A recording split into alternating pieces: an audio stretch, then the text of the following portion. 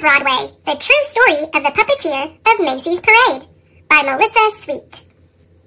Anthony Tony Frederick Sarg, 1880 to 1942. Every little movement has a meaning of its own. Tony Sarg.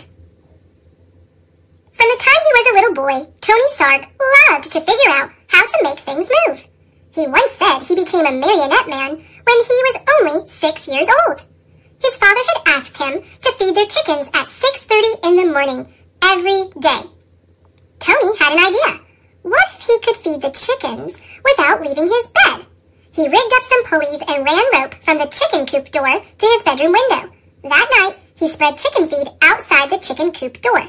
The next morning, Tony pulled on the rope and the door to the chicken coop opened.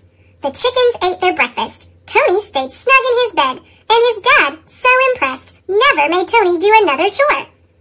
Step 1. Spread feed the night before. 2. Pull rope. 3. Door opens. 4. Chickens come out. When Tony grew up, he moved to London, where he discovered that no one was making marionettes for kids anymore. So out of wood, cloth, and strings, Tony began to make puppets. He figured out ways to make his marionettes movements so lifelike that they performed as if they were real actors. Word soon spread about Tony's amazing marionettes.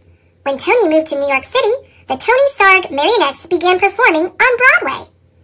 In the heart of New York City, in Herald Square, there was the biggest store on earth, R.H. Macy's department store. Macy's had heard about Tony's puppets and asked him to design a puppet parade for the store's holiday windows. So Tony made new puppets based on storybook characters, then attached them to gears and pulleys to make them move. In Macy's Wondertown windows, Tony's mechanical marionettes danced across the stage, as if by magic. All day long they performed to shoppers jostling for a better look. But Macy's had an even bigger job in store for Tony. Many of the people working at Macy's were immigrants, and as the holidays approached, they missed their own holiday traditions of music and dancing in the streets. Macy's agreed to put on a parade for their employees, and they hired Tony to help. Tony, too, was an immigrant, so he loved the idea of creating a parade based on street carnivals from all over the world. He made costumes and built horse-drawn floats, and Macy's even arranged to bring in bears, elephants, and camels from the Central Park Zoo. The animals joined hundreds of Macy's employees on Thanksgiving Day, 1924, winding their way from Harlem to Herald Square it was a dazzling parade. In fact, Macy's first parade was such a success that they decided to have one every year on Thanksgiving Day to celebrate America's own holiday. Each year, the parade grew, but when Macy's brought in lions and tigers, in addition to the bears, elephants, and camels, the animals roared and growled and frightened the children. Tony, can you think of something spectacular? Macy's asked Tony to replace the animals. Tony hoped to replace the animals with some kind of puppets, but his marionettes were less than three feet tall. He would have to make much larger puppets in order for them to be seen in the parade. And how could he make them strong enough to hold up in bad weather, yet light enough to move up and down the streets? Tony knew of a company in Ohio that made blimps out of rubber, the perfect material for any weather. When he called the company and showed them his sketches, they agreed to make what Tony wanted. Still, how would Tony make his big puppets move? Then Tony had an idea from an Indonesian rod puppet in his toy collection. On Thanksgiving Day, Tony's creatures, some as high as 16 feet, spilled into the streets, and the crowds cheered wildly. Part puppet, part balloon, the air-filled rubber bags wobbled down the avenues, propped up by wooden sticks. But now the sidewalks were so packed with people that only those in the first few rows could really see the parade. Tony realized his puppets would have to be even bigger and higher off the ground. And though the sticks helped to steer the puppets, they were stiff and heavy. Tony wanted his balloons to articulate, to move and gesture, more like puppets. But how?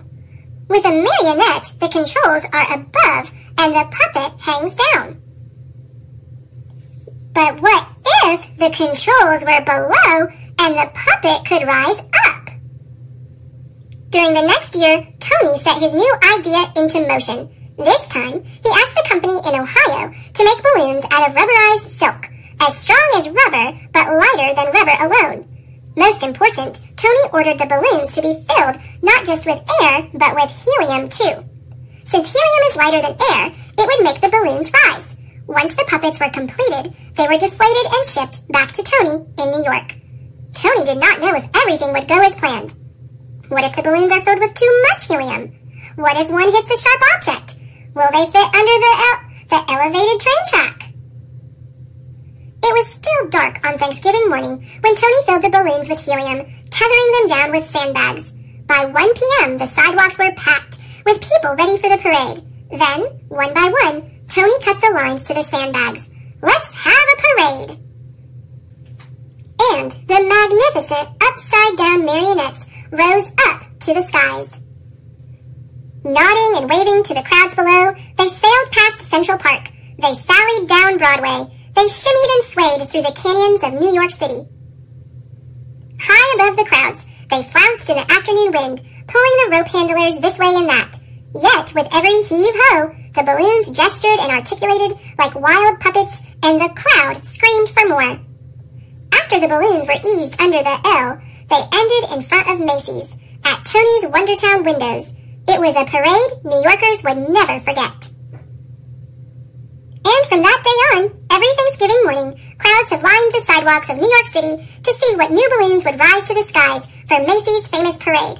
Tony Sarg, the puppeteer who loved to figure out how to make things move, had set the stage with a little rigging for a puppet to be anything anyone could imagine it to be.